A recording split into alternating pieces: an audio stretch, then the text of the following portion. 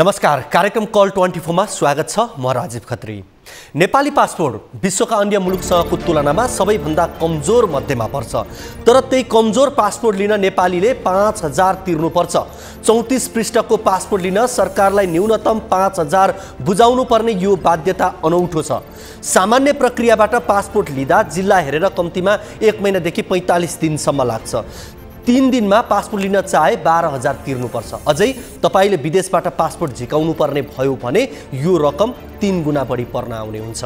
टाढाको कुरा होइन आर्थिक हिसाबले सबैभन्दा सम्पन्न भए पनि नेपालको तुलनामा हाम्रा छिमेकी देशहरूमा पासपोर्ट शुल्क सस्तो छ। छिमेकी देश भारतमा छत्तिस पृष्ठको पासपोर्टको मूल्य पन्ध्र सय भारतीय पर्छ अर्थात् छब्बिस सय नेपाली रुपियाँ पर्छ। यो मूल्य नेपालको भन्दा झन्डै आधा सस्तो हो।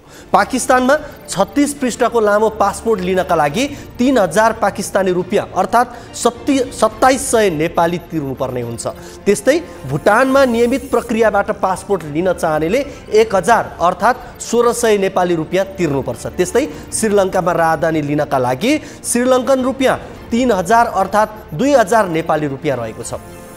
नेपालीले पासपोर्ट बनाउन महँगो शुल्क तिरे पनि नेपाली पासपोर्ट विश्वकै कमजोर सूचीमा पर्छ।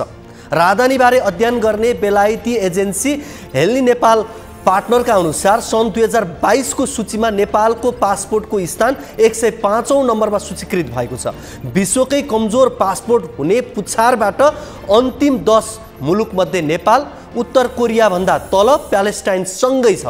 आजका दिनमा नेपाली पासपोर्टले अग्रिम भिसा नलिकन पच्चिसवटा जति देश जान मात्र योग्य बनाइएको छ।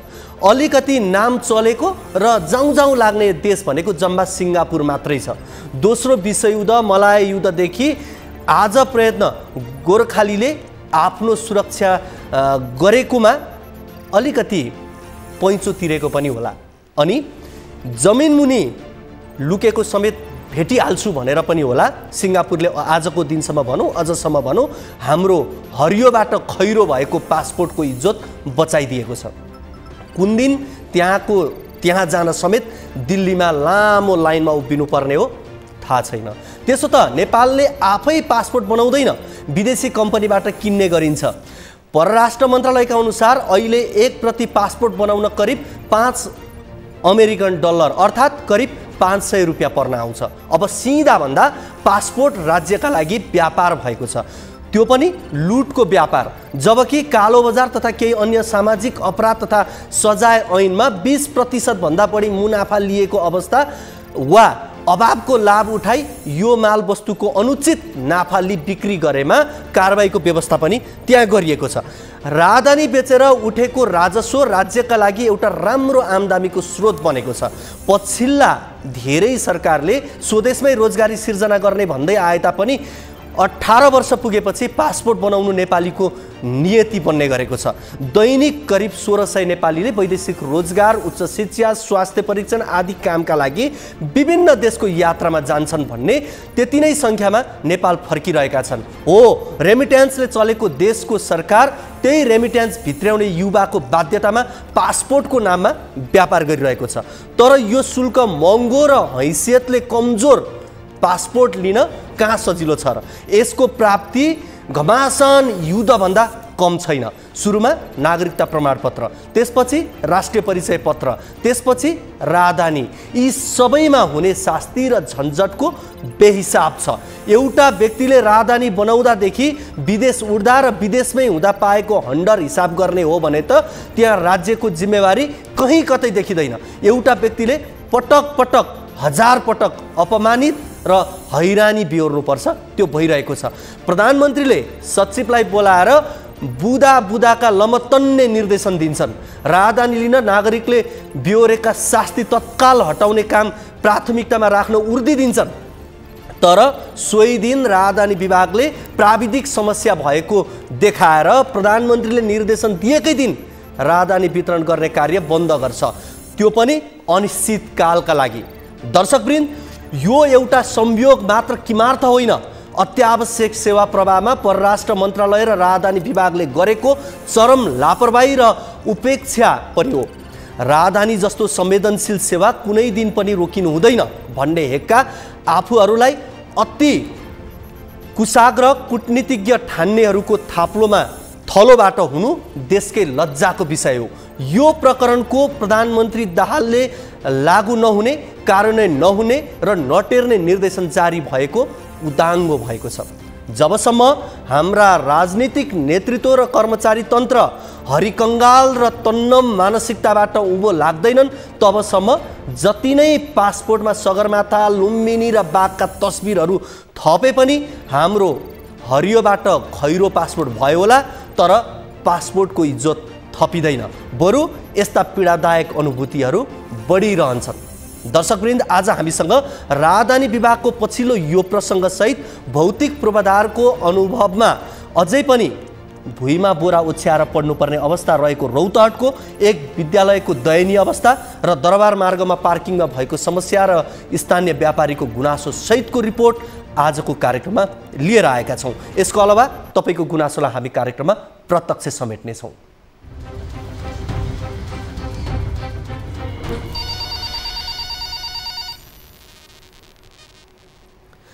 दर्शकवृन्द तपाईँको पनि कुनै समस्या जिज्ञासा अभिव्यक्ति छन् भने कार्यक्रममा राख्न सक्नुहुनेछ। हाम्रो टोल फ्री नम्बर सोह्र साठी शून्य एक बाह्र चार सय चौबिस र एनसिएल नम्बर अन्ठानब्बे शून्य पन्ध्र बहत्तर चार सय चौबिस र भाइबर नम्बर अन्ठानब्बे चौरासी शून्य एघार शून्य सैँतिसमा कल गर्न सक्नुहुनेछ। कार्यक्रमको सुरुवातमा लागौँ पहिलो रिपोर्टतर्फ। आज मुलुक रेमिट्यान्सले चलेको छ। यो नहुँदा यो नहुँदो हो त। चामल किन्ने पैसा समेत राज्यसँग हुँदैन थियो। भारतबाट आयात गर्दा नेपाली रुपियाँ चल्दैछ। भारू खरिद गर्न डलर तिर्नुपर्छ। नेता र कर्मचारीहरूले खपत गर्ने विदेशी सामान तिनै श्रमिकहरूले पठाएको रेमिट्यान्स हो। कुल जिडिपीमा चौबिस प्रतिशतभन्दा बढी योगदान रहेको रेमिट्यान्स ल्याउने राहदानीलाई भने परराष्ट्र मन्त्रालय र राहदानी विभागले उपेक्षा गर्छ भने त्यो दुर्भाग्य हो। राजधानी सहज हुनुपर्छ भन्दै गर्दा एकाएक राजधानी वितरण नै हुन नसक्ने अवस्था कसरी आयो? प्रश्न अनुत्तरित छ। प्रधानमन्त्री पुष्पकमल दाहाल सरकारका सबै सचिवलाई बोलाएर उनले तिस बुधे निर्देशन दिए। निर्देशनको बुधा नम्बर चौधमा राजधानी लिन नागरिकले बेहोरेको शास्ति तत्काल हटाउने काम प्राथमिकतामा राख्ने उर्दी थियो। तर सोही दिन राजधानी विभागले प्राविधिक समस्या आएको देखाएर प्रधानमन्त्रीले दिएको निर्देशनकै दिन राजधानी वितरण गर्ने कार्य बन्द गर्यो। त्यो पनि अनिश्चितकालका लागि। यो एउटा संयोग मात्र किमार्थ थिएन। अत्यावश्यक सेवा प्रवाहमा परराष्ट्र मन्त्रालय र राजधानी विभागले गरेको चरम लापरवाही र उपेक्षा पनि हो।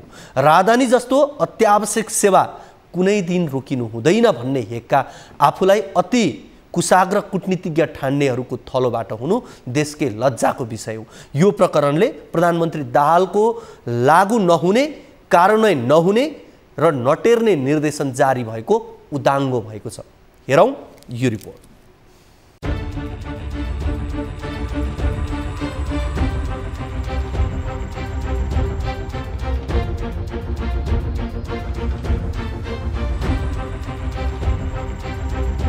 राहदानी लिन त्यसै पनि नागरिकहरूलाई हम्बे हम्बे पर्थ्यो। झिसमिसेदेखि मिरमिरेसम्म लाइनमा बस्नुपर्ने।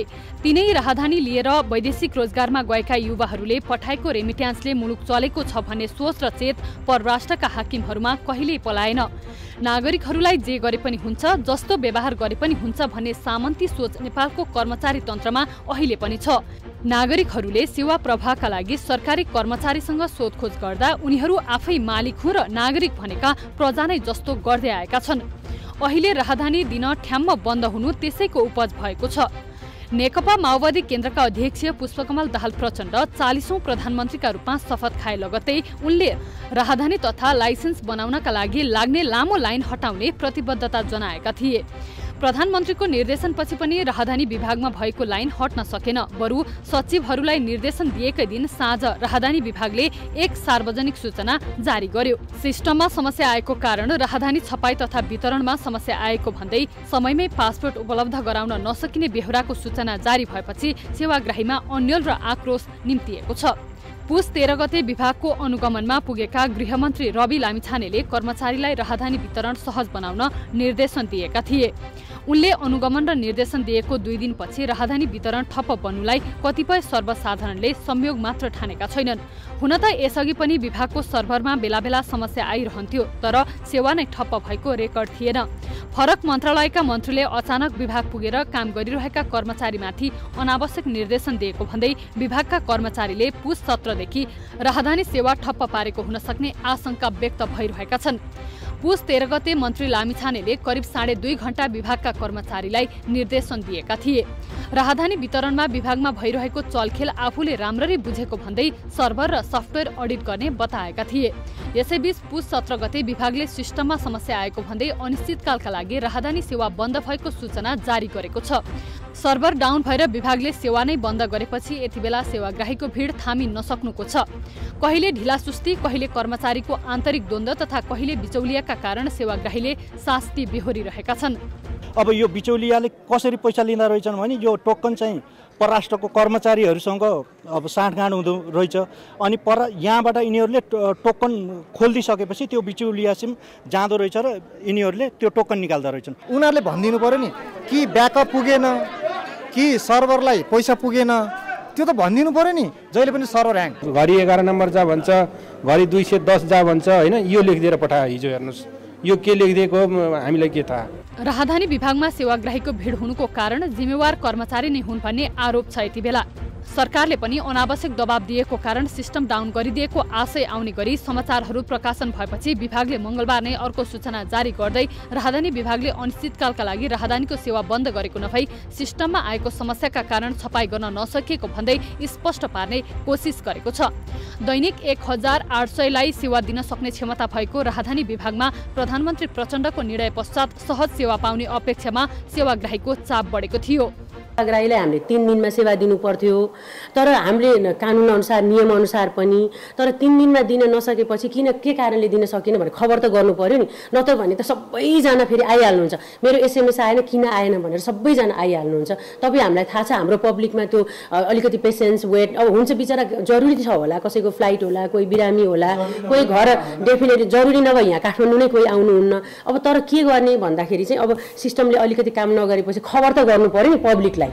राहदानी वितरण नै हुन नसक्ने अवस्था कसरी आयो? गृहमन्त्री लामिछानेको निर्देशनपछि गृहको आइटी विज्ञ सहितको टोलीले विभागको सर्भर प्रणाली र सफ्टवेयरबारे अध्ययन अनुगमन सुरु गरेको छ। टोलीले अध्ययन गरेर पन्ध्र दिनपछि गृहमन्त्री समक्ष प्रतिवेदन पेश गर्नेछ। गृह टोलीको प्रतिवेदनले धेरै कुरा खुलाउला। कसको असक्षमता वा उपेक्षाले नागरिकले दुःख पाए तिनको पनि वस्तुगत अध्ययन गरी आइन्दा यस्तो प्रवृत्ति दोहोरिन नदिन अरू मुलुकहरूले अप्नाएको पद्धति अपनाउन जरुरी छ। अनि मात्र प्रधानमन्त्री र मन्त्रीहरूका यस्ता स्टनले काम गर्नेछ।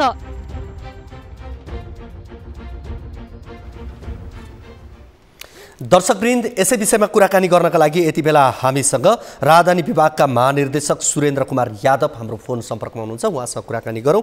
सुरेन्द्रजी यहाँलाई कार्यक्रम कल ट्वेन्टी फोरमा स्वागत छ। अब यो राजधानी नै वितरण हुन नसक्ने गरी एकाएक समस्या कसरी आयो धेरैले आशंका के गरे भने जतिखेर प्रधानमन्त्रीले निर्देशन दिनुभयो गृहमन्त्री त्यहाँ आउनुभयो। यी सबै कुराले गर्दाखेरि चाहिँ कर्मचारीले प्रेसर थेक्न नसकेर या यो निर्देशन बढी भयो भनेर अवज्ञा गरेको हो भन्नेसम्मका चर्चा हुन थाले। यसलाई प्रस्ट्याइदिनुहोस् न। होइन होइन। यो सब चाहिँ झुटो कुराहरू हुन्। हामीलाई चाहिँ अ, माननीय गृहमन्त्रीज्यूले र सामान्य प्रधानमन्त्रीज्यूले दिनुभएको निर्देशन हामीले फलो नै गर्ने हो।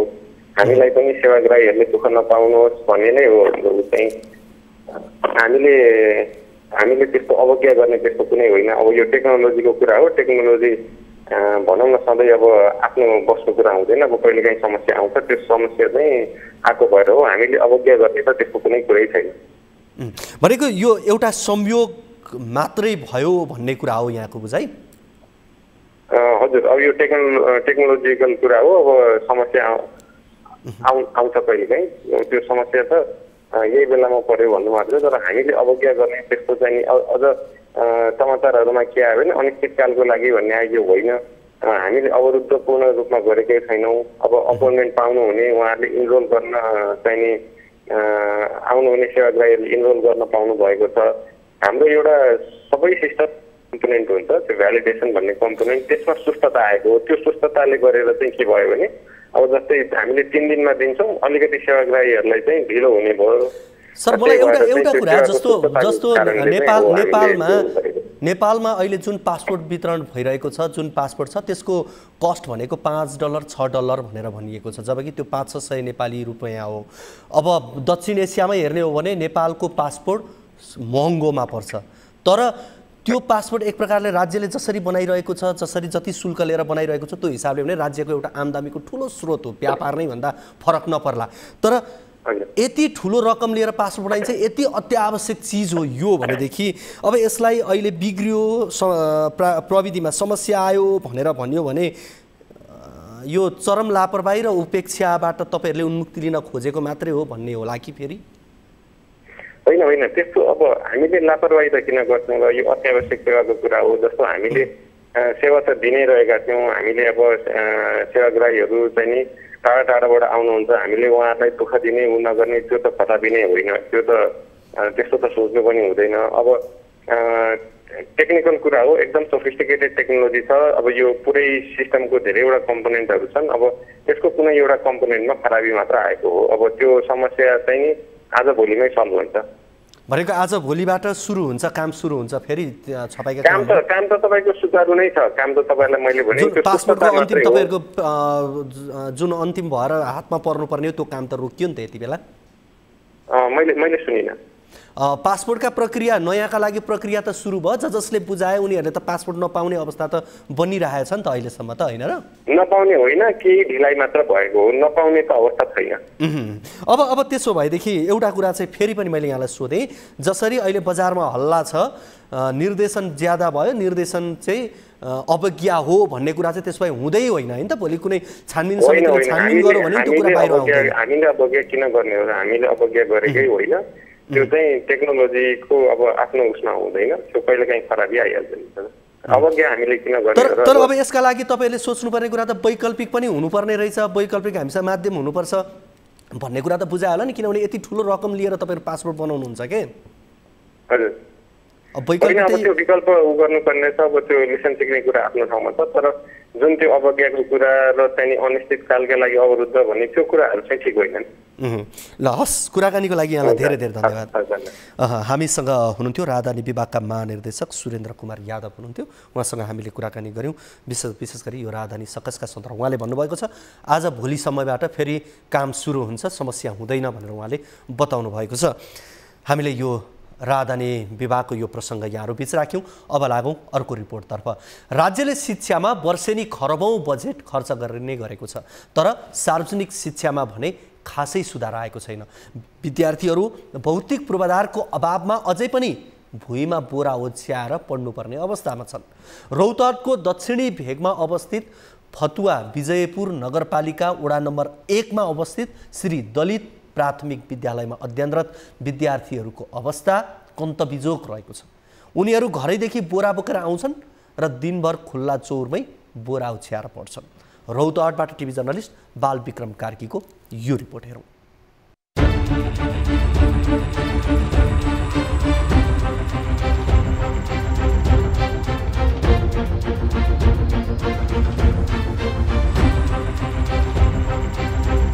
दुईजना बाल विकास सहित चारजना शिक्षक रहेको रौतहटको श्री दलित प्राथमिक विद्यालयमा शिशु कक्षादेखि पाँचसम्म अध्यापन हुने यो विद्यालयमा करिब दुई सय विद्यार्थी अध्ययनरत छन्।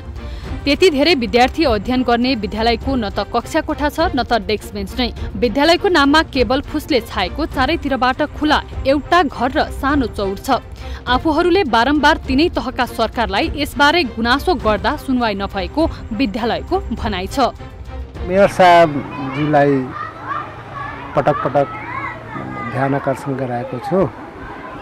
बच्चाहरूको बस्नको लागि बेन्च डेस्क र विद्यालयको कागजातहरू राख्नको लागि दराजको व्यवस्था मिलाइदिनु उहाँले। सकारात्मक रूपमा लिनुभयो। ठिकै छ म व्यवस्था मिलाइदिन्छु। उहाँले त भन्दै हुनुहुन्छ। अब हेरौँ अब त उहाँको हातको कुरो हो। उहाँले के गर्नुहुन्छ भने?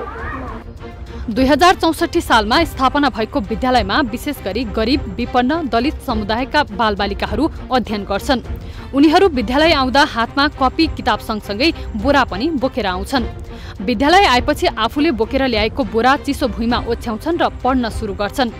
विद्यालयमा एउटा पनि डेस्क बेन्च नहुँदा विद्यार्थीहरू कक्षा अनुसार छुट्टा छुट्टै समूह बनाएर पढ्ने गर्छन्। खानेपानी र शौचालयको समेत प्रबन्ध नहुँदा विद्यार्थीहरूलाई दयनीय अवस्थामा पढाउनु परेको शिक्षकहरूको गुनासो छ। यहाँ बस्न ठाउँ छैन कुर्सी बेन्चको अभाव छ यहाँ घरको अभाव छ। दसदेखि चार बजेसम्म पढाउँदा अहिले चिसोको बेलामा बच्चाहरू टिक्न सक्दैन। अब बच्चाहरूलाई टिक्नको लागि स्थानीय स्तरको पनि यसमा पहल छैन। कतिपटक भने पनि उहाँहरूले चासो लिनुहुन्न। एउटा भवन बनिया छ भने त्यो जग्गा पनि स्कुलको नाउँमा आएको छैन। अब कसको नाउँमा छ कुनै व्यक्तिको नाउँमा छ कि संस्थाको नाउँमा छ कि के छ यो बिचको कुरा उहाँ मेयर साहेब र मुखियाजीले बुझ्नुहुन्छ। हामी स्कुलको स्टाफहरूलाई केही थाहै छैन त्यसको बारेमा। तर स्कुलको लागि जग्गा किन्या हो भनेर उहाँहरूले भन्या छ। अहिले बच्चाहरूलाई पढाउन यो विद्यालयमा केही पनि छैन। साना उमेरका बालबालिकाहरू बोरा ओछ्याएर विद्यालयको चौरमा दिनभर बसेर पढ्नु पर्दा बिरामी पर्ने गरेका छन्। गर्मी महिनामा चर्को घाममा र वर्षामा झरीमा रुच्दै भए पनि पढ्नु साना साना विद्यार्थीहरूको नियति नै भइसकेको छ। विद्यालयमा पठन पाठनका लागि एउटा कालो पाटी नहुँदा शिक्षकहरूले खुला चौरमा चिसो भुइँमा राखेर मौखिक पढाइरहेका छन्।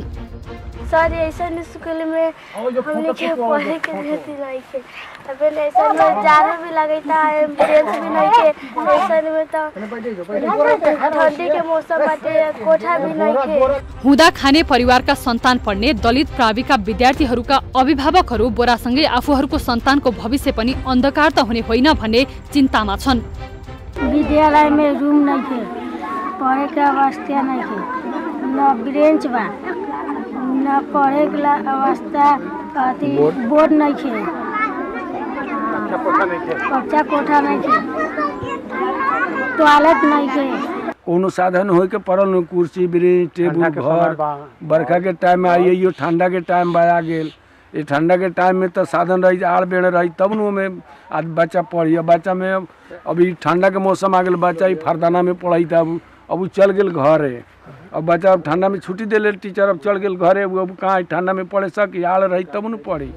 बालबालिका देशका कर्णधार हुन्। उनीहरूले राम्रो शिक्षा दीक्षा पाए भोलिको सुनौलो नेपालको भविष्य कोरिनेछ तर स्रोत साधनको अभावमा खुल्ला चौरमा बोरा ओछ्याएर आर्जन गर्ने शिक्षाले कसरी भविष्यका कर्णधारहरूको विकास गर्नेछ भन्नेमा ठूलो प्रश्न चिन्ह खडा गरेको छ।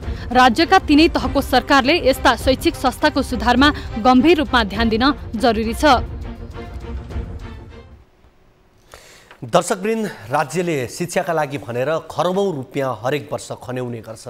तर विद्यालयको अवस्था भौतिक संरचना नहुँदा बालबालिका अझै पनि खुल्ला चौरमा त्यो पनि बोरा ओछ्याएर पढ्न बाध्य छन्। बोरा पनि घरबाट बोकेर ल्याउनुपर्छ र यो चिसो मौसममा उनीहरू भुइँमा बसेर पढ्छन्। योभन्दा दुःखदायी अवस्था केही छैन। विद्यालयको भवन तपाईँहरूले देखिहाल्नुभयो जहाँ फुसले बनेको छ त्यो पनि खुल्ला छ। त्यस्तो विद्यालयमा उनीहरू बसेर बसेर पढ्न बाध्य छन्। बालबालिकाको सङ्ख्या शिशुदेखि कक्षा पाँचसम्म करिब दुई सय विद्यार्थी भनेका थोरै विद्यार्थी होइनन् धेरै विद्यार्थी हुन्।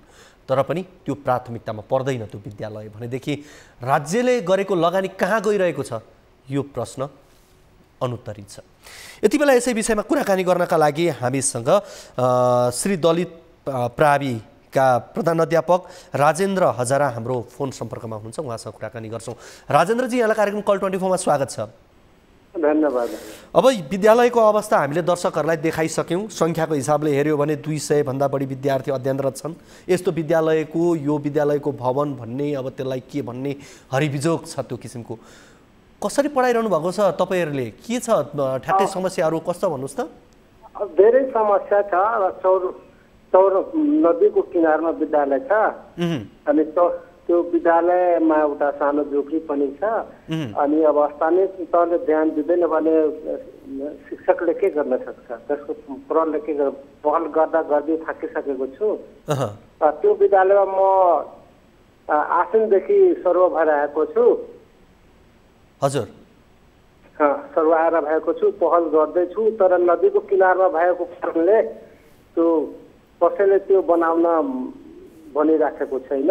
अब यसमा स्थानीय तहले स्थानीय तहले अहिले विद्यालय विशेष गरी हेर्ने भएको कारणले यो भवन निर्माण गरौँ या विद्यालय व्यवस्थित गरौँ यसका भौतिक समस्याहरू बनाऊ डेस्क बेन्चका कुराहरूमा स्थानीय तहले कति पनि काम गरेको छैन यो विद्यालयका लागि? हजुर एउटा कुरा सुन्नुहोस्। यसभन्दा पूर्वाध्यक्ष वडाध्यक्षज्यूले यो विद्यालयको लागि चार काठा जमिन बाँध पारी उतातिर खरिदिसक्नु बि- अ, सक- सक्नु भएको छ। पच्चिस लाखको पनि भवन बनाइसक्नु भएको छ। तर विद्यालयको नाममा जग्गा गरेको छैन त्यही समस्या। उहाँले चाहिँ कसको कसको जग्गामा बनाउनु भयो त त्यो भवन चाहिँ? उहाँले चार काठा जग्गा खरिद गरेर अब कसको नाममा मलाई थाहा छैन म भर्खर त्यो विद्यालयमा गएको छु। त्यो त्यो भव त्यो भवन बनेको चाहिँ कति भयो? आ, लमसममा त्यो असार असार बितेको असारतिर बनियो। ए अनि अब त्यो भवन उहाँ कसको जग्गामा बनिएको के बनेको छैन? विद्यालयको नाममा आएको छैन तपाईँहरूले त्यहाँ पढाउन पाउनु भएको छैन। भवन निर्माण चाहिँ भइसक्यो तर। पच्चिस लाखसम्मको भवन निर्माण भइसकेको छ। तर। गाउँको मान्छेले त्यहाँ पार्टीको हिसाबले भन्छन् कि त्यो विद्यालयको नाममा छैन त्यहाँ लगेर पढाउन मिल्दैन भने। त्यो नगरपालिका नगरपालिकाकै खर्चमा बनियो। हजुर त्यो विद्यालय चाहिँ यो अप्ठ्यारो परिरहेको छ त्यो अवस्थाले। अहिले अख्तियारमा पुगेछ। ए। अब विद्यालयको अवस्था त हामीले रिपोर्टमा देखाइसक्यौँ। विशेष गरी खानेपानी शौचालयको अभाव पनि त्यत्तिकै छ। बालबालिकाहरू त्यत्तिकै चिसो भुइँमा पढ्छन् बिरामी हुँदा होलान् उनीहरू। के छ? हजुर। अब त त्यस्तै त होला नि अब गाउँको अब समाजको अभिभावकको काम मैले बेला गरेर पटक पटक भन्छु गर्छु तर उहाँहरूले ध्यान दिनु हुँदैन भने मैले के गरौँ बाहिरको मान्छे अब के अब यो? नगरपालिकाको यो विद्यालयको मात्रै अवस्था यस्तो हो कि अरू विद्यालयको अवस्था नि यस्तै यस्तै छन् अन्त पनि? यस्तो छैन सर। अरू विद्यालयको यस्तो अवस्था छैन। अह यो विद्यालय मात्रै यस्तो हो? यस्तो एउटै मात्र नमुना विद्यालय छ यो अवस्थामा। अह, अब हामीले यस विषयमा विजयपुर नगरपालिकाका नगर प्रमुख गोपाल यादव त्यसै गरी विजयपुर नगरपालिकाकी उपमेयर खातुनसँग पनि कुराकानी गर्ने प्रयास गरेका थियौँ तर उहाँहरूले फोन उठाउनु भएन भन्ने मैले यहाँ जानकारी पाएको छु। हुन्छ अब यहाँले कुराकानी गरिदिनु भयो विद्यालयको अवस्थाको बारेमा जानकारी गराइदिनु भयो। अब तपाईँले आफ्नो तर्फबाट प्रयास त गर्नुभएको छ अब त्यो सम्भव हुन सकेको छैन। अब स्थानीय जनप्रतिनिधिहरूले या जनप्रतिनिधिले गर्नुपर्ने कुराहरू बढी हुन् तर पनि तपाईँले आफ्नो प्रयास गरेको छु भनेर भन्नुभयो। हस् कुराकानीका लागि यहाँलाई धेरै धेरै धन्यवाद। धन्यवाद। हामीसँग हुनुहुन्थ्यो श्री दलित प्राथमिक विद्यालयका प्रधानाध्यापक राजेन्द्र हजारा हुनुहुन्थ्यो। उहाँसँग हामीले कुराकानी गऱ्यौँ विशेष गरी यो रौतहटको श्री दलित माध्यमिक विद्यालय जहाँ शिशु कक्षादेखि कक्षा पाँचसम्म अध्ययन हुन्छ तर सो विद्यालयमा दुई सयजना विद्यार्थी अध्ययन गर्ने भए पनि विद्यालयको भौतिक अवस्था दुरावस्था छ भनेदेखि त्यहाँ बालबालिकाहरू भुइँमा चिसो भुइँमा त्यो पनि बोरा ओछ्याएर पढ्छन् घरबाटै बोरा ल्याउँछन् त्यो अवस्था एउटा विद्यालयको छ। हामीले यो विषयमा नगरपालिकाका नगर प्रमुख जनप्रतिनिधिसँग पनि कुराकानी गर्न खोजेका थियौँ तर सम्भव भएन। तपाईँ दर्शकहरूसँग पनि हामी कुराकानी गर्ने प्रयासमा छौँ यति बेला। तपाईँहरू पनि फोन गर्न सक्नुहुनेछ कार्यक्रममा। हाम्रो टेलिभिजनको स्क्रिनमा देखिरहेका नम्बरहरूमा फोन गरेर आफ्नो समस्या गुनासो कार्यक्रममा राख्न सक्नुहुनेछ। यति बेला कोही दर्शक हाम्रो फोन सम्पर्कमा हुनुहुन्छ उहाँसँग कुराकानी गरौँ। हजुर नमस्ते। नमस्ते हजुर। हजुर कहाँबाट को बोल्दै हुनुहुन्छ म कपन आदर्श नगरबाट शङ्करलाल श्रेष्ठजी बोल्दैछु शङ्करजी यहाँको समस्या जिज्ञासा के होला? म त यसै सानोतिनो व्यवस्था गरेर बसिरहेको थिएँ हजुर एउटा यो चाउचाउ बेच्ने यताउति गर्ने थियो मान्छे है। हजुर। अनि शेरबहादुर तामाङजी भने अनि मलाई तपाईँको पहिला उसैले जग्गा मैले बेचेको हो त्यही जग्गा म पछि तपाईँलाई दिन्छु भन्यो। पछि पछिको कुरा अहिले अब पा दुई तिन वर्षको चार पाँच वर्षको उसमा ब्यागमा अनि दिन्छु भन्यो अनि मेरो थलीमा घर थियो। घर उसले पहिला किन्यो। हजुर। अनि किनेर पहिला अब तपाईँको बैनाको काज गरायो बैनाको काज गरेपछि उसले अर्कोलाई घर बेच्यो। है? अनि। त्यहाँबाट हजुर अनि त्यहाँबाट मेरो फेरि त मलाई तपाईँको उहाँ तपाईँको चुनी खेलको करोना हस्पिटल लिएको जग्गा दियो हजुर। अनि दिएपछि मैले एक करोड अठार लाखको उसलाई बैना गरेँ। हजुर।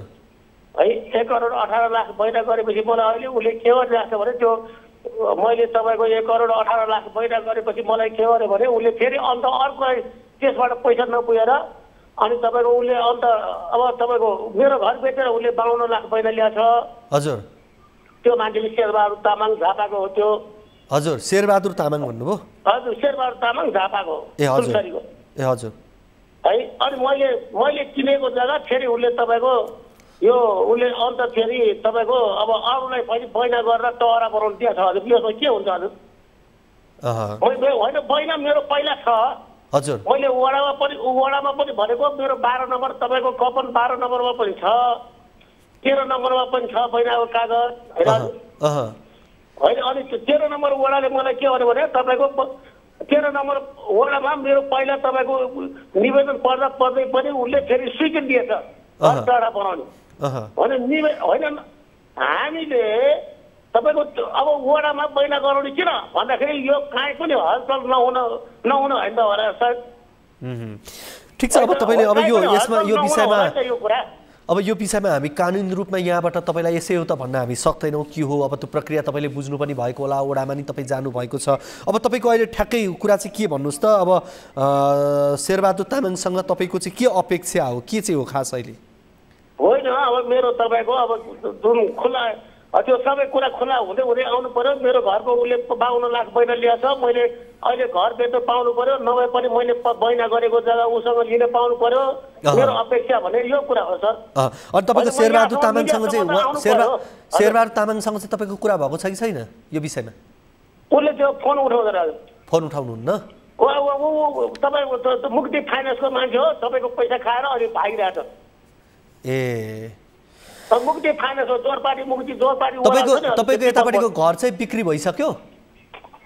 होइन बिक्री त मैले गरेर दिएँ हुन्थ्यो ऊ साथी हो पहिला। अब उसले त तपाईँको मलाई लठ्यामा ल्याएर सिटाउनु खोजेको रहेछ। ए। अब तपाईँ मेरो घर बेच्ने पैसा लिने उसको त नदिने अरूलाई बेचिरहेछ हजुर उसको दाम। ठिक छ तपाईँले कुरा थाहा भयो शे- हामी पछि शेरबहादुर तामाङको नम्बर हामीलाई उपलब्ध गराउनु भएको छ? हजुर मैले हजुर दिनुभएको छ? हजुर दिएको छु हजुर मैले ए ठिक छ उहाँसँग सम्पर्क। हजुर उहाँ उहाँसँग हामी कुराकानी गर्ने प्रयास गर्दैछौँ। तपाईँलाई हामी दोहोरो कुराकानी गराउने सम्- सम्भव भएसम्म दोहोरो कुराकानी गराउँछौँ हामी है। हजुर हजुर सर। उहाँले फोन उठाउनु भएको खण्डमा तपाईँले कुराकानी गर्नु होला कति भयो उहाँले फोन उठाउन छोडेको? उहाँले अरूको फोन उठाउँदैन हजुर। फोन एक वर्ष भयो हजुर यो। ए एक वर्ष। एक वर्ष भयो उहाँ कुरै कुरै गर्नुहुन्न? हजुर एक वर्ष होइन मलाई त तपाईँको सुनसरीमा उहाँ तपाईँको उसमा ल चौधरीकापुरमा जग्गा अर्काको जग्गा त्यो त्यो उसको के अरे त्यो तपाईँको के के रोड होलाकी राजमार्ग यहाँ सुन्नुहोस् न हजुर अँ। होलाकी राजमार्गको रोडमा म हामी यहाँको नजाने मान्छेलाई होलाकी राजमार्गको रोडमा लगेर उसले हाल्न पनि खोजेको थियो कि हजुर। तपाईँले गर्ने तपाईँले काहीँ उजुरी दिनुभएको छैन? उजुरी गर्नुभएको छैन? अहिलेसम्म छैन मैले यो हाम्रो सिधा कुरा राम्रो भएको नाताले अब हाम्रो रवि सरको अब अब हामीले शेरबहादुर तामाङसँग यति बेला कुराकानी गर्ने प्रयास गरेका थियौँ उहाँले फोन उठाउनु भएन भन्ने मैले यहाँ जानकारी पाएको छु। तपाईँले यसो गर्नुहोस् एकपटक तपाईँले उजुरी पनि गर्नुहोस्। उजु उजुरी पनि गर्नुहोस् उजुरी गरिसकिसकेपछि यदि प्रहरीमा गर्नुहोस् न पहिला प्रहरीमा जानकारी गराउनुहोस् न यो यो भयो भनेर तपाईँले उजुरी त गराउनु पर्यो नि। प्रहरीमा हुन्छ प्रहरीले त्यसपछि तपाईँलाई विकल्प दिन सक्नुहुन्छ कहाँ उजुरी। गराउने भनेर उहाँलाई पक्रेर ल्याउन सक्ने कुरा हुन्छ उहाँलाई त्यसपछि सोधपुछका कुरा हुन सक्छन् होइन? त्यस कारण प्रहरीमै गराउनुहोस् त्यसपछि केही भयो भने हामी फेरि अगाडि बढाउँला। हामीले शेरबहादुर तामाङलाई कुराकानी गर्ने प्रयास गरेका थियौँ उहाँको फोन उठेन। हस् शङ्करजी कुराकानीका लागि यहाँलाई धेरै धेरै धन्यवाद वीरेन्द्र दाजु हो सर हजुर म राजीव खत्री यहाँसँग बोल्दैछु।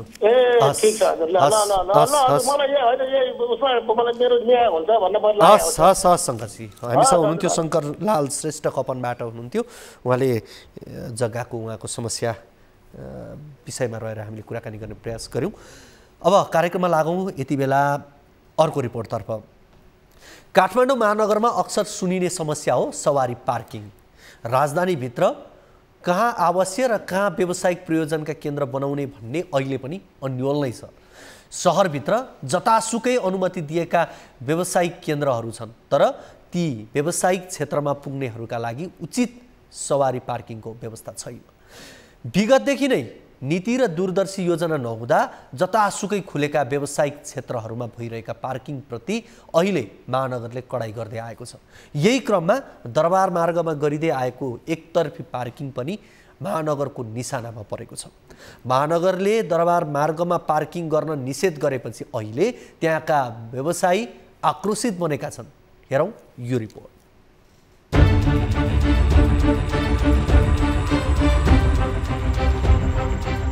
राजधानी काठमाडौँका लागि सवारी पार्किङ सदाबहार समस्या हो। आफ्नै निजी सवारी साधन लिएर राजधानीका मुख्य सहरहरूतर्फ जानेले भोग्ने सबैभन्दा ठुलो समस्या नै पार्किङको हुन्छ। जथाभावी गरिने पार्किङकै कारण प्राय राजधानीमा सवारी जामको समस्या पनि उत्तिकै हुने गर्छ। राजधानीको पार्किङलाई व्यवस्थापन गर्न भनेर विभिन्न प्रयासहरू हुँदै आए पनि तिनले खासै सफलता पाउन सकेका छैनन्। राजधानीको मुख्य व्यापारिक केन्द्र न्यू रोड महाबौद्ध लगायतको पार्किङ समस्या समाधान गर्न भनेर महानगरले खुल्ला मञ्चमा भूमिगत पार्किङ बनाउने योजना ल्याए पनि यो सुरुवातदेखि नै विवादमा पर्दै आएको छ। केही समय यता राजधानीका विभिन्न स्थानमा महानगरले अवैध भन्दै सडक किनारामा गरिने पार्किङ हटाइरहेको छ। यसैबीच महानगरले दरबार मार्गमा एकतर्फी गरिँदै आएको सवारी पार्किङ हटाइदिएपछि त्यहाँका व्यवसायीले आपत्ति जनाएका छन्। यस विषयमा उनीहरूले काठमाडौँ उपत्यका ट्राफिक प्रहरी महाशाखामा ध्यान आकर्षण पनि गराएका छन्। अब यहाँको यहाँको व्यापारीहरूले त अब कुरा राखिरहेछ भन्दै हुनुहुन्थ्यो यहाँ ओनरहरूले पनि अब खोइ अब त्यो त हामीलाई थाहा हुँदैन हामी पनि स्टाफ हो होइन जे अब हामीलाई त अब यस्तो यहाँनिर अब यो बेन्टले भनेको त दरमा सबैभन्दा अब ठुलै पसल मानिन्छ नि त अब हामी जहिले नै एनी टाइम बिजी भइराख्ने अब अहिले त अब कस्टमर नभएपछि त हात बाँध्यो बस्यो त्यति नै हुन् त्यति नै कामै त्यति नै हुन्छ पार्किङ हटाउँदा कोरोना महामारी र लकडाउनका कारण थलिएर बिस्तारै सुधार हुन लागेको दरबार मार्गको व्यापार व्यवसायमा नकारात्मक असर गर्ने उनीहरू बताउँछन्। ट्राफिक प्रहरी सडक विभाग र काठमाडौँ महानगरपालिकासँग विगतमा भएको सहमति अनुसार एक लाइन पार्किङ गर्न पाउनुपर्ने व्यवसायीको माग छ। एकदमै सर यसमा चाहिँ के भन्नुहुन्छ भने अब यो पार्किङ हटेको एक दुई दिन भयो होला हाम्रो सेल्स एकदमै घट्या छ है। अब महानगरले के गर्न खोज्यो हो त्यो त हामीलाई थाहा छैन। अब जति सक्दो हाम हाम्रो यो जति व्यापारहरू छ यसमा चाहिँ एकदमै लस गरेर छ यो पार्किङले गर्दाखेरि। यसको लागि चाहिँ केही व्यवस्थापन हुनु पर्यो यो त हाम्रो काठमाडौँको मेन ठाउँ हो नि त। त्यो हुनाले गर्दाखेरि यहाँ सफा भएको अलिकति सिक्योर भयो भनेदेखि चाहिँ होइन? हामीलाई नै हामीलाई नै राम्रो हुन्छ जस्तो लाग्छ मलाई। जस्तै कि अब यो त मेन हाम्रो सम्पदा नेपालको सांस्कृतिक एउटा सम्पदा हो यो होइन? त्यसले गर्दाखेरि मेरो आफ्नो भ्यू है है। त्यसको लागि चाहिँ म यो चाहिँ राम्रो हो भन्ने मलाई लाग्छ। मङ्गलबारदेखि दरबार मार्ग क्षेत्रको बाटो खाली र खुल्ला बनाउन ट्राफिक प्रहरीको समन्वयमा पार्किङ निषेध गरिएको महानगरले जनाएको छ। महानगरले लिखित निर्णय र आदेश बिना नै मौखिक रूपमा पार्किङ हटाएको हो। परीक्षणकालीन अवस्थामा हटाइएको पार्किङलाई स्थानीयको प्रतिक्रिया अनुसार कार्यान्वयन गर्ने वा नगर्ने तयारी महानगरको छ।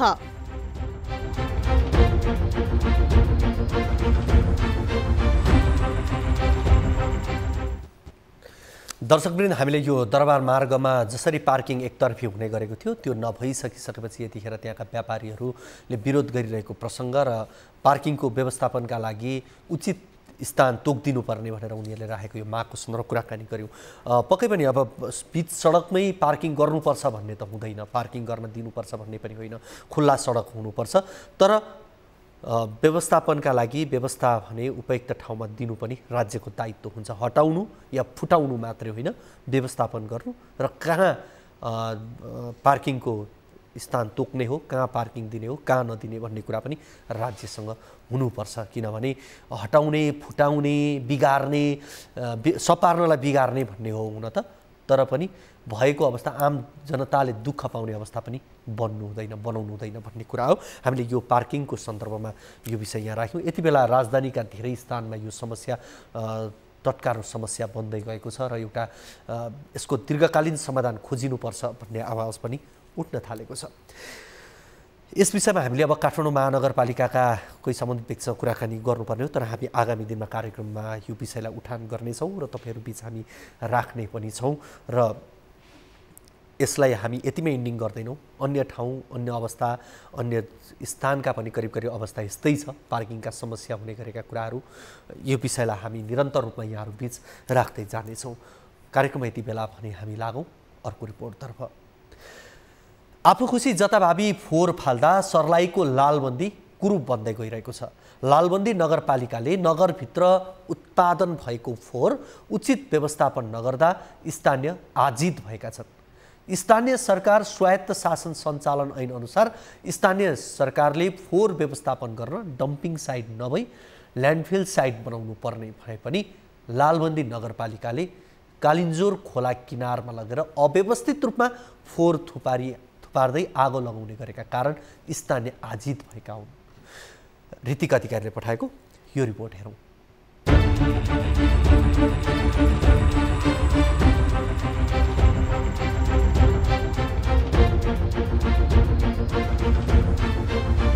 सर्लाही स्थित लालबन्दी बजार दिन प्रतिदिन दुर्गन्धित भएको छ। लालबन्दी नगरपालिकाले फोहोर उचित व्यवस्थापन नगर्दा स्थानीय आजित भएका छन्। जङ्गलको छेउमा फोहोर फालिँदा दुर्गन्ध फैलिएको स्थानीयको भनाइ छ। खोलाको छेउमै जङ्गलमा त्यो फ्याल्ने गरेको हुनाले त्यहाँबाट आवत जावत जुन यो हाम्रो यो पृथ्वीराज यो जुन हाम्रो यो राजमार्ग छ नि यो राजमार्गदेखि हामीले जुन यो सडक यात्राबाट गर्ने क्रममा त्यहाँनिर भयभरका जति पनि मान्छे मानिसहरूलाई समस्या हुने त्यो जलाउँदाखेरि पोहोरले गनाउने त्यो अलिकति नराम्रो तरिकाले त्यसको दुर्गन्ध फैलेको हुनाले त्यसलाई अझै व्यवस्थित तरिकाले स्थानीय सरकारले चाहिँ सम्झिदिएर त्यसलाई व्यवस्थित गर्नुपर्छ। हामीले यसको सदुपयोग गरौँ दुरुपयोग होइन भन्ने तरिकामा जान्छन् भने त्यसमा चाहिँ राम्रो हुन्थ्यो होला जस्तो मलाई लागिरहेको छ। Green and clean city service private limited लालबन्दीले बजारमा उत्पादन भएको फोहोर उठाएर नगरपालिकाले तोकेको क्षेत्रमा लगी फाल्ने गरेको छ। खुल्ला स्थानमा लगेर फालिएको फोहोर जङ्गली जनावरहरूका साथै चराचुरुङ्गीहरूले टिपेर अन्यत्र लैजाने समेत गरेका छन्। साथै फोहोर थुपारेपछि आगो लगाउनाले लालबन्दी बजार दुर्गन्धित भएको हो। सात वर्ष पहिला नै नगरपालिकाले ल्यान्डफिल्ड साइटको रूपमा बनाएको नगरपालिकाले जनाएपछि आफूले त्यहीँ लगेर फोहोर फालिएको ठेकेदार कम्पनीको भनाइ छ। मेरो गाडीमा हामीले मात्रै उठाएर लिएर जाँदाखेरि हामी एक लाइनबाट फ्याल्थ्यौँ। त्यस्तो फोहोर देखिँदैन थियो त्यहाँ त अब सबैले के बाहिरको सबै हामीसँग सेवाग्राही नभएको। अब यो उद्योगहरू अब यहाँको यो हनुमान कपास उद्योग त्यसपछि गएर कवाडीहरू यिनीहरूले चाहिँ सबै लगेर राई छिटी जथाभावी फालेको हुनाले त्यो डम्पिङ साइट चाहिँ त्यस्तो देखिएको हो। अब त्यसलाई चाहिँ तारबार गेट लगाइदिएको खण्डमा हामी सुधारेर पहिला जसो गरी हामीले खाल्टोमा पुर्या थियौँ त्यसै गरी पुर्ने वातावरण बन्छ नदी किनारामा फोहोर डम्पिङ गर्ने र चार पाँच दिनमा फोहोरलाई आगो लगाउने गर्दा चार पाँच दिनसम्म थुपारिएको फोहोर कुकुर स्याल काग लगायतका जनावरले अन्यत्र लगी फोहोर छर्ने हावाले उडाएर अन्यत्र लैजाने र आगो लगाउँदा हावाले दुर्गन्ध बस्तीमा पुर्याउने गर्दा स्थानीय आजित भएका हुन्। फोहोर मैला चाहिँ एकदम एकदम विशुद्ध परम्परागत पद्धतिबाट भएको पाएँ मैले। विशुद्ध परम्परागत भनेको हामी डम्पिङ साइट भन्थ्यौँ सुरुको पद्धति। फोहोर एक ठाउँबाट कलेक्सन गर्ने लगेर एक ठाउँमा थुपार्दैन त्योभन्दा अर्को कुनै पनि व्यवस्थापन सोचिएको देखिएन अहिलेसम्म। अब अहिले तत्काल व्यवस्थापन त के नै गर्न सकिन्छ? तत्कालको व्यवस्थापन भनेको मेरो दिमागले के आएको भने ल्यान्ड फिलिङ मोडलबाट जाँदैछु। अहिले लगेर कलेक्सन गरेको फोहोरलाई पनि एक ठाउँमा खाल्टो खनेर त्यहीँ अलि ठुलो खाल्टो खनेर कलेक्सन गरेर पुरेर अलिकति खाल्टो परेको जमिनमा लगेर पुरेर जमिन गाँस्ने गरी काम पनि हुन्छ त्यसमाथि वृक्षारोपण गर्न सकिन्छ। सामान्य धनकुटा सानो नगरपालिका धनकुटाले पनि गरेर देखिन्छ त्यो। यो त समस्या छैन लालबन्दीमा त ठुलो क्षेत्र छ भूगोलको क्षेत्र छ। अहिले चाहिँ हामी ल्यान्ड फिलिङ मोडलमा यसलाई चेन्ज गर्छु। म तुरुन्तै हजुरले दुई तिन महिनाभित्र देख्नुहुन्छ। नगरपालिकाको गाउँ बस्ती नजिकै नदी किनारामा लगेर अव्यवस्थित रूपमा फोहोर डम्पिङ गर्ने काम गर्दा ग्रिन एन्ड क्लिन सिटी लालबन्दीको पहिचान लोप हुने अवस्थामा पुगेको छ।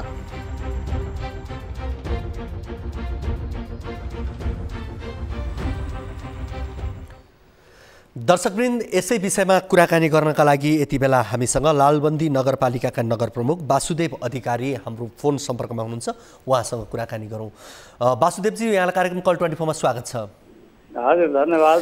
मैले तपाईँको विशेष गरी यो नगरपालिकाको वेबसाइट खोल्ने बित्तिकै नगरपालिकाको कार्यालय लालबन्दी नगरपालिका नगरपालिका कार्यालय देखिन्छ। त्यसको तल के लेखेको छ भने स्वच्छ सुन्दर समुन्नत सहर सर्लाहीको सान लालबन्दी नगर भनेर त्यहाँ लेखिएको छ।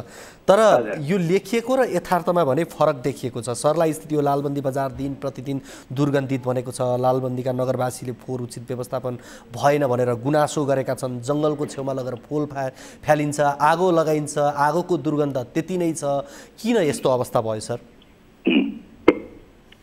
यो आठ दस वर्ष आठ दस वर्षदेखिको चाहिँ त्यो मतलब चाहिँ ल्यान्डफिल्डमा प्रयोग गरेर त त्यो डम्पिङ साइट बनाएर हजुर। अहिले चाहिँ हामीले त्यसलाई चाहिँ ल्यान्डफिल्डको रूपमा चाहिँ गरेर त्यसलाई पुरेर सब सुधार गर्ने काम अगाडि बढाएको छौँ। हजुर। र अब त्यो यो दुर्गन्धबाट सबैलाई बच्नुपर्छ भन्ने हिसाबले चाहिँ अब नयाँ कार्यक्रम पनि अगाडि बढाइरहेका छौँ। अब अहिले चाहिँ ज ज- जसरी तपाईँले भन्नु अहिलेको अवस्था त्यो छैन। अहिले त्यो सुधार भइसकेको छ। तपाईँले तपाईँसँग हामी यसरी कुराकानी गर्दै गर्दाखेरि यही भिडियो नै मैले यहाँ प्ले पनि गरिरहेको छु। दर्शकहरूले देखिरहनु भएको छ होइन? जहाँ फोरै फोहोर छ आगो लागेको छ धुवा निस्किरहेको छ त्यो भिडियो यति बेला हामीले प्ले पनि गरिरहेका छौँ तपाईँले छैन भन्दा पनि। अब जे होस् ठिक छ? यहाँले त्यो प्रयास हामी गरिरहेका छौँ भनेर भन्नुभएको छ। विकल्प चाहिँ यो कालिन्जोर खोला मात्रै हो या अन्य स्थान नै? अब तपाईँहरू बनाउन खोज्दै हुनुहुन्छ। के छ? त्यो विकल्प ठाउँै नभएर हो डम्पिङ साइटका लागि? ल्यान्डफिल साइटका लागि? अब विकल्प धेरै ठाउँ हुन सक्छन्। अब त्यो ठाउँलाई पनि अब हामीले म्याक्सिमम् त्यसलाई म्यानेज गरेर कत- कति सक्छौँ? त्यसलाई प्रयत्न गर्न त्यसो नभए अर्को ठाउँ पनि हामी व्यवस्था गर्छौँ। अहिले तत्काल त्यो म्यानेज भएर चाहिँ त्यो व्यवस्थापन नयाँ हिसाबले गइरहेका छ। अब यो कहिले कहिलेदेखि चाहिँ तपाईँले भने जस्तो यो अहिले भएका समस्याहरू चाहिँ व्यवस्थापन कहिलेदेखि त्यहाँका जनताले देख्लान्? होइन अहिले सुरु गरिसक्यो। अहिले जुन अहिले चाहिँ अहिले यहाँहरूको प्रस्तुतिमा त्यस्तो अवस्था छैन। त्यो अहिले सकिसकेको छ। हस् तपाईँले भने जस्तै होस् र चाँडोभन्दा चाँडो सुधार होस् र आम जनताले स्थानीय सरकारबाट खोज्ने कुरा पनि पक्कै यिनै होलान्। हस् कुराकानीका लागि यहाँलाई धेरै धेरै धन्यवाद। हामीसँग हुनुहुन्थ्यो लालबन्दी नगरपालिकाका नगर प्रमुख वासुदेव अधिकारीसँग हुनुहुन्थ्यो र उहाँसँग हामीले कुराकानी गऱ्यौँ। तपाईँ दर्शकहरूसँग पनि हामी कुराकानी गर्ने प्रयासमा छौँ। हामीलाई फोन गर्नुहोला। आफ्ना समस्या गुनासो जिज्ञासा जे छन् कार्यक्रममा राख्न सक्नुहुनेछ। यस्तै किसिमका समस्या यस्तै किसिमको जिज्ञासा राख्नुपर्छ भनेर हामीले कुनै दायरा पनि निर्धारण गरेका छैनौँ। जुन कुनै समस्या जुनसुकै जिज्ञासा यहाँ कार्यक्रममा राख्न सक्नुहुनेछ। तपाईँले राख्नुभएको समस्याको समाधान र जिज्ञासाको जवाब हामी कार्यक्रममा खोज्ने प्रयास गर्छौँ। र तपाईँले दिएका हामीले यो टेलिभिजनको स्क्रिनमा तपाईँले देखिरहनुभएका नम्बरहरू जुन हामीले दिइरहेका छौँ यसमा यहाँहरूले फोन गर्नुपर्ने हुन्छ। यसको अलावा तपाईँहरूले हामीलाई आजको कार्यक्रममा फोन लागेन भने पनि धन्दा नमान्नुहोस् अन्य समयमा पनि फोन गरेर तपाईँले समस्या गुनासो भने राख्न सक्नुहुनेछ। यति बेला हामीसँग कोही दर्शक फोन सम्पर्कमा हुनुहुन्छ उहाँसँग कुराकानी गरौँ। हजुर नमस्ते। नमस्ते। कहाँबाट को बोल्दै हुनुहुन्छ? म चितवनबाट रमेश कार्की सर। नाम फेरि भन्नुहोस् त। चितवनबाट रमेश कार्की। यहाँको समस्या जिज्ञासा के होला? मेरो वैदेशिक रोजगारमा हामीको पैसा फसेको छ हजुर। अ, साढे दस लाख फस्या हो हामी सातजना साथीहरूको। रमेशजी कस कसले फसायो? मेन पावरलाई कि बिच तपाईँले एजेन्टलाई पैसा बुझाउनु भयो कि के थियो? सर एजेन्टलाई बुझाउनु भएको थियो? हजुर। ए उनी चाहिँ कुन मेन पावर कम्पनीका एजेन्ट रहेछन्? मेन पार त थाहा भएन सर तपाईँको हामी चाहिँ गएको स्पेसल भिजिटमा गएको सर। हजुर। तर तपाईँको भिजिटमा पनि उता जुन दुबईको मान्छेले पिकअप बनाउँछु भन्थ्यो त्यो दाइले चाहिँ यो दुबईको भिसा हो तिमीहरू नआऊ भनेर त्यो दाइले जोगाइदिनु भयो। हजुर। नेपालबाट अब सर्लकै गएको भए चाहिँ हामी दुबईतिर अब एयरपोर्टतिर फसिन्थ्यो तर उनीलाई दुबईको भिसा दियो। हामी चाहिँ सातजना फस्या हो सर। ए कति छ सातजना हुनुहुन्छ? हजुर सातजना छौँ हामी। कति कति कति बुझाउनु भएको थियो पैसा चाहिँ? मैले एक लाख बुझाएको आइएमए गरेर अनि अरू साथीहरूले कोहीले डेढ लाख बुझाएको कोहीले एक पन्ध्र बुझाएको त्यस्तै गरेर साढे दस लाख रुपियाँ चाहिँ उसले चेक दिएको थियो। एजेन्टको नाम चाहिँ के हो? एजेन्टको नाम चाहिँ हामीले पैसा दिएको चाहिँ किरण गुरुङ। हजुर। उहाँको पहिला घर चितवनै हो हाम्रो नजिकै मान्छे थियो गाउँ एकै ठाउँको थियो। अहिले ऊ काठमाडौँतिर छ कि यता छोरीतिर छ थाहा भएन सर हजुर। अनि हाम्रो हामीलाई चेक दिएर के अरे त्यो चेकै नकाटेको चाहिँ दिपक प्रसाद चौलागाईको हो झापाको मान्छे। दिपक प्रसाद चौलागाई? हजुर। ए अनि सुरज गुरुङ तपाईँको छिमेकी त्यतै हुँदो रहेछ उहाँसँग चाहिँ तपाईँको कुराकानी भएको छैन अनि? होइन सर किरण गुरुङ ऊ सम्पर्क दिन्छ सर फोन गर्दाखेरि तपाईँको छोराले फोन उठाउँछ। अनि धेरै चर्चा दिनुभयो भने तपाईँलाई म कुनै के साइबर केस गरिदिन्छु के के के भन्नुहुन्छ। ए उल्टै तपाईँहरूलाई चाहिँ उहाँको नम्बर हामीलाई तपाईँले दिनुभएको छ? हजुर दिएको छु अघि म्यामलाई। ठिक छ हामी सुरज गुरुङसँग यहाँ कुराकानी गर्ने प्रयास पक्कै हामी गरिरहेका छौँ। उहाँसँग कुराकानी भयो भने तपाईँलाई हामी दोहोरो कुराकानी पनि गराउँछौँ है? अह रमेशजी फोन उठाउनु भएन रे तपाईँले दिएको नम्बरमा भनेर हामीले जानकारी पायौँ है? यसो गरौँ। अब यो विषयलाई फेरि हामी आगामी कार्यक्रममा कुराकानी गरौँला उहाँसँग जोडिने प्रयास गरौँला हामी बुझ्छौँ है त? हस् हामीसँग हुनुहुन्थ्यो चितवनबाट रमेश कार्की उहाँले वैदेशिक रोजगारकै समस्या यहाँ राख्नु भएको छ। हामी दर्शकहरूलाई कार्यक्रमको अन्त्यमा यो पनि आग्रह गर्छौँ वैदेशिक रोजगारसँग सम्बन्धित धेरै समस्याहरू आउने गर्छन्। त्यस कारणले कम्तीमा तपाईँले वैदेशिक रोजगारमा जाँदै हुनुहुन्छ भने कुन देश केका लागि कुन काम भनेर बुझ्नुहोस्। त्यो मात्रै होइन तपाईँलाई यदि यहाँबाट विशेष गरी दुबई पछिल्लो समय दुबई चाहिँ यहाँबाट भिजिट भिसामा लाने र त्यहाँ लगेर अलपत्र पार्ने सम्मका समस्या छन् यो चाहिँ यहाँहरूले विचार गर्नुहोला र एजेन्टलाई होइन मेन पावर कम्पनी मार्फत काम गर्नुहोला। यति गर्नुभयो भने तपाईँको पैसा जोगिन्छ भोलि तपाईँले लगेनन् लग्न सकेनन् भने पनि क्लेम गर्नलाई तपाईँलाई सजिलो हुन्छ। आजको कार्यक्रमको निर्धारित समय सकिसकेको छ। भोलिका कार्यक्रममा हामी थप विषयहरूसहित फेरि उपस्थित हुने नै छौँ। तबसम्मलाई बिदा दिनुहोस्। हवस् त नमस्ते।